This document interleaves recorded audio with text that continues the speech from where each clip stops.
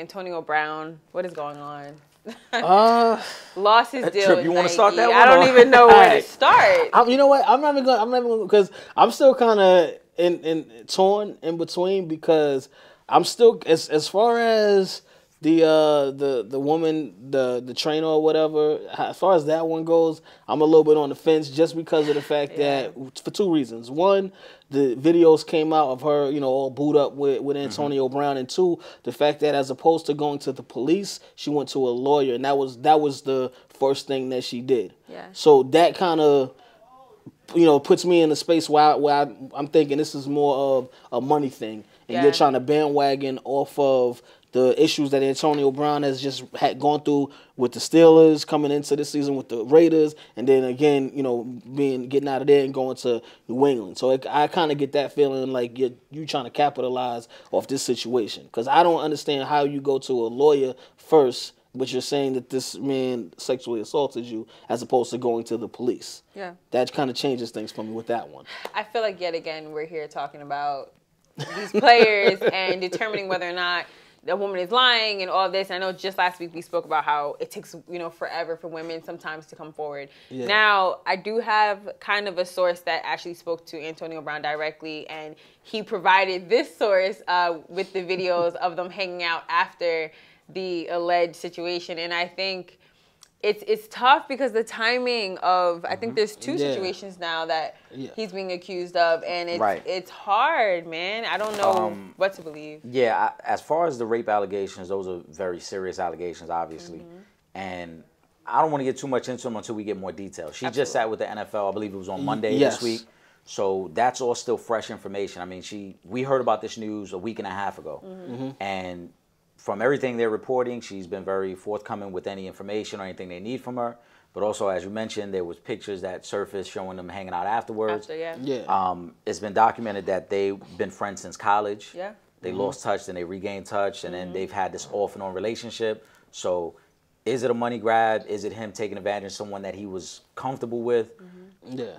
I, honestly, I hope it's not that. Yeah. I, I, I hope, you know, I hope it's a situation where it was a misunderstanding and she's expecting something from it. Not to downgrade the allegations, Yeah. but well, she did. She she uh, He- allegedly got- was asking for money to start a business. right. Oh from man, him. Yeah, See, that, and that's why I say like So he, there's- know, there's a whole lot going he- on with that situation. Yeah, right. He's he's got young children, and I would hate for it to be a situation where he he did cross the line. Yeah. Um, but aside from that, I mean, we we've seen the situation with the Raiders play out, Mm-hmm. right?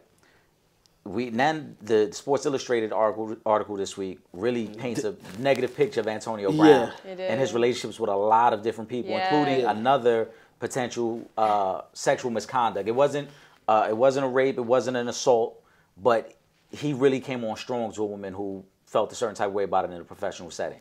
And don't don't forget the article, a whole article about him farting in his doctor's face. I mean, like well, that at was this part of point- that But that's, article. but that's gas though. You- At this on, man, that's point- gas. yeah, but I mean, it speaks to the immaturity It- of, of yeah. Antonio Brown, though, Yeah, and but that's- that's what makes it look worse. Like, Right. It does, but I mean, you fart in somebody's face. That's a far, you know, cry from And, sexual and I assault. No, just they- find they- it funny they're that not the same, right. is- He's a jerk, yes. Not Right. only is he a He's jerk, but I mean, he's being sued by a former personal assistant. He's being Yeah. sued by a chef.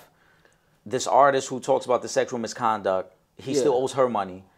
And then there's this pattern of him like when he cuts people Miscon- off, it's yeah. it's in a very very negative way where it's like I want nothing to do with you, and I'm gonna try to tarnish your name before you can try to tarnish my name. right. Because what happens is when when when you're an asshole, you know, it makes it hard for people to take your side when there's so many things that are, are Right. going I mean, on. At, at some point we got to Yes. call a spade a spade. And like, Yeah. it's not like this is an isolated incident. yeah, If- it's Yeah. not so many. over the summer, like we talk a lot about the Raiders situation. He had an incident. Oldest daughter's mother, where she called the police on him for, for getting physical with her. Yeah. His youngest son's mother has, has called the police on him several times for getting physical with her. Mm-hmm. Yeah. So at some point, it's like, how, when do we stop giving you the benefit of the doubt? Right. Right. So did he rape the woman? We don't know. We weren't there. I hope it didn't go that far. Yeah. But that's But at the same time, it's, it's hard to defend and believe you when Yeah.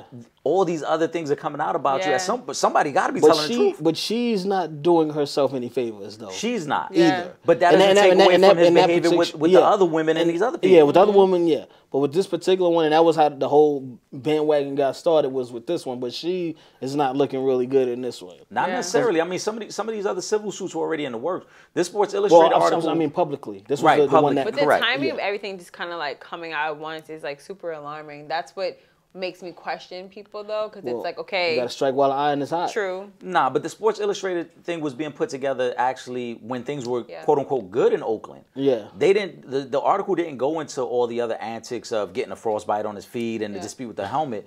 These were things that were already lining up because Yeah. he had a Yeah. couple civil cases along with false police reports about a car being stolen from his Yeah. house. Yeah.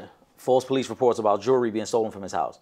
Like there's a lot of things with Antonio Brown where Yeah. we talked about it before when when Yeah. he was just acting up with the Raiders before some of these things, and we kind of talked about like, is this a cry for help? Yeah. We hear a lot of athletes now talk about mentally how unstable they are. Yeah. Is he one of these guys that just doesn't know I need know how to say I need help, yeah. and so Now- he acts out? Now, let me ask you guys in terms of him losing his endorsement uh, with Nike, do you think that these athletes' um, endorsements should be strictly predicated off of their performance as athletes, or do you think all these things going on, you know, whether they're true or not, should determine him losing such deals like the helmet deal and the Nike? I would like to to believe that and and say that. However, a, as a brand, I can't have you represent my company and you're sexually assaulting women, you're committing murders or assaults or whatever, you know, something something to that extreme. You know, the going back and forth with the with the with the the coaches, whatever. I can kind of Yeah. get past that. But once you get into breaking the law, I can't have that associated with my brand because then it's I'm basically telling the world and, and our customers that we condone your actions by by us keeping you. So I no, I can't. But even when it's still in that accusation, like it's that he's not. It's not true yet. It's you know he's still innocent until proven guilty. You think they should have pulled the, it already? But the it's because the press is is so harmful. Guilty until on proven. Yeah. Yeah, Yeah. you know, and it doesn't help him that again. There's something after something after True. something Mm-hmm. after something. So whereas if it's if it's like say if this is say Russell Wilson. Where he's pretty clean cut, we don't Yeah. ever really see him, you know, getting his hands dirty or anything like that. Then it's like, all right, you know what? We can give him the benefit of the doubt. He's never been in trouble. But again, with Antonio Brown, there's always something Always. going Yeah. on. So you're not going to give him the benefit of the doubt. Yeah. I, I mean, no, he doesn't deserve the benefit of the doubt. As mm-hmm. far as endorsements, it all has to be tied in because that's the image that you present to the mm-hmm. consumer. Yeah. Right? Yeah. When we talk about LeBron James, whether you love his game or not, True. he is a wholesome guy, family man guy. We see that all the time, and that's what gets mm-hmm. presented. Yeah.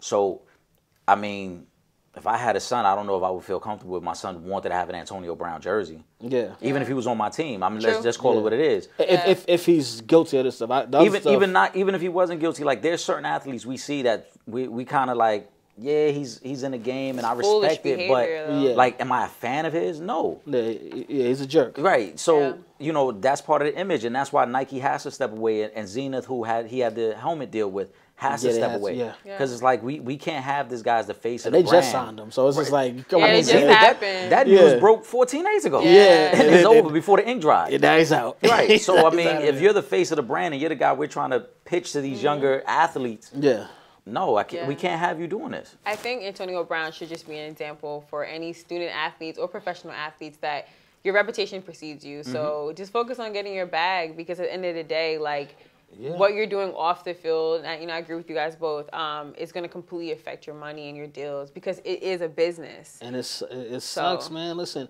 and, and and this is crazy because now going back to the whole argument about getting paid because these athletes need that, Yeah. Mm-hmm. and then you're getting that, and now you're doing everything you can to mess it up for yourself. Yeah, it's a shame. Because you could you could live two lifetimes off of these endorsement deals that these athletes get.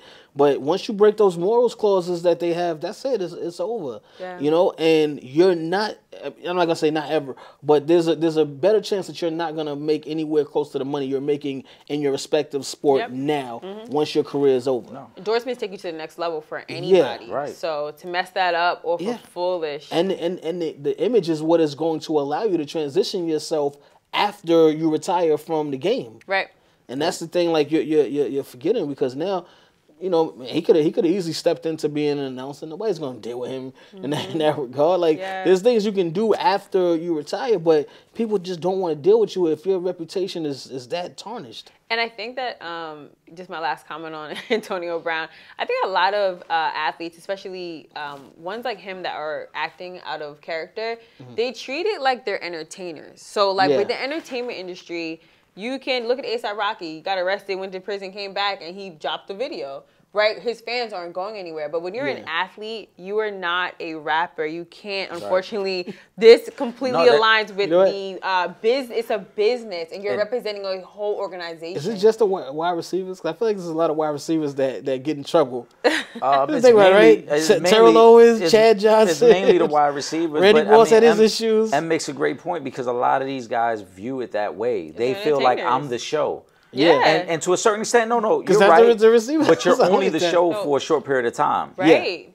So- you don't have full control over your brand. You are not representing your own entity. You're representing a whole organization, a state, a, you know, a whole. If you get ten years, you're fortunate to play, Yeah. in, And especially to in the NFL. And to Trip's point, you know, if you play it right, we've Yeah. seen guys like Shaq, Mm-hmm. like Peyton Manning, mm-hmm. right, who can transition out of the game and continue to make 1000000s mm-hmm. just through endorsements Call and their name. image. This is Deontay the Bronze Bomber Wilder, heavyweight champion of the world, and you're watching Real Fans Real Talk. Live from the can.